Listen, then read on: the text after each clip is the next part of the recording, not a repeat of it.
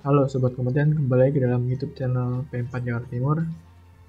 Pada pembahasan kali ini kita akan membahas mengenai MySQL atau MySQL. Sebenarnya penyebutan itu MySQL. Oke, jadi sekarang kita akan membahas mengenai database. Nantinya kita coba untuk pelajari mengenai MySQL ini. Nah, di MySQL ini kita coba ke bawah. Jadi ada untuk the enterprise dan juga ada community.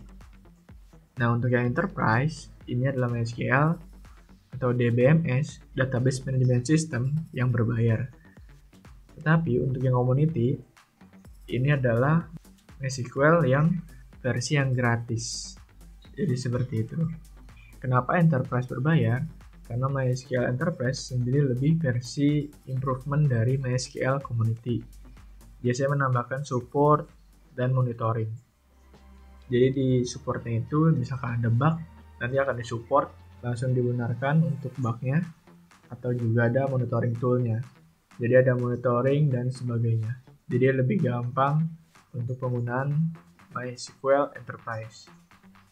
Jadi kalau misalkan perusahaan-perusahaan besar, corporate, seperti bank, asuransi, dan sebagainya, mereka kan biasanya pengen disupport menggunakan database jadi biasanya mereka akan membeli MySQL Enterprise. Tapi kalau misalkan kita developer untuk belajar, kita ingin buat aplikasi, kita bisa menggunakan MySQL Community. Tapi konsekuensinya kalau misalkan terjadi error, kita harus tanganin errornya itu sendiri. Dan kalau misalkan kita ingin melakukan monitoring, kita harus monitoringnya sendiri. Jadi kalau misalkan MySQL Community untuk bug, error, dan juga untuk monitoring, melakukannya dengan sendiri.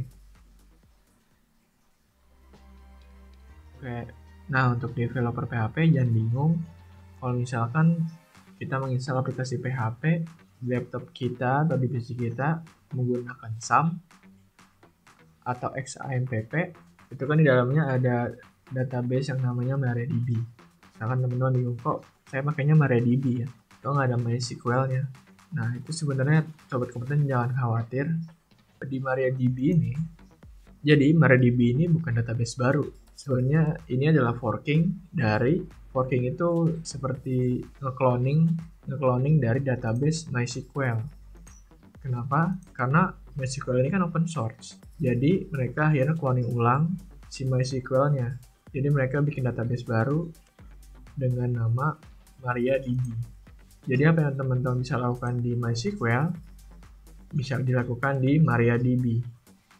Kenapa? Karena basis kodenya itu sama. Jadi nggak usah khawatir untuk sobat kompeten di laptopnya misalkan pas lagi install PHP di dalamnya ada MariaDB. Jadi itu nanti bisa dipakai karena sama aja source code-nya itu source code MySQL. Sehingga jadi sekarang jangan terlalu bingung kalau misalkan ada MySQL dan MariaDB karena dua-duanya source code-nya basisnya sama. Sebenarnya ada perbedaan kecil, tapi secara garis besar sebenarnya tetap sama. Untuk perbedaan kecilnya itu seperti improvement yang dilakukan di MariaDB dan sebagainya. Tapi overall engine-nya, cara kerjanya hampir sama karena kodenya berdasarkan sumber yang sama. Nah, untuk website ini mariadb.org jadi cukup sekian pada pembahasan materi kali ini. Untuk sobat kompeten, semoga dapat dengan jelas memahami pada materi kali ini dan jangan lupa mempelajari dan berlatih lebih lanjut pada materi tersebut. Tonton terus playlist Ngopi Ngoding Happy, di like dan subscribe untuk sobat kompeten dan teman-teman yang ingin bertanya dapat bertanya di bagian kolom komentar. Terima kasih.